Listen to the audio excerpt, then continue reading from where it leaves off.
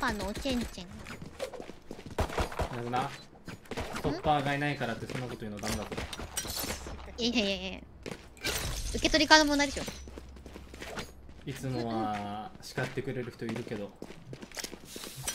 今日いないこの間配信外なのに育て方の違いで喧嘩したもんね。パパとママえ？配信外で育て方の違いに。まだダメだ。